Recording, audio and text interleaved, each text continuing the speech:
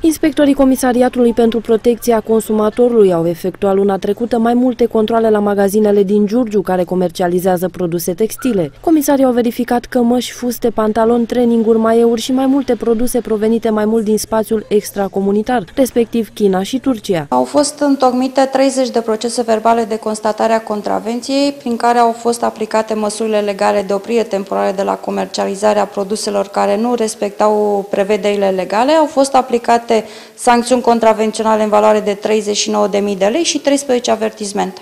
Inspectorii au descoperit 20 de magazine care comercializau produse textile fără etichete în limba română, iar alți operatori aveau afișat la intrare anunțul că magazinul face reduceri, dar fără a informa consumatorul privind reducerea aplicată și perioada campaniei. Au fost găsite și magazine care nu aveau deloc prețurile afișate la anumite produse sau prețurile nu erau vizibile pentru consumatori.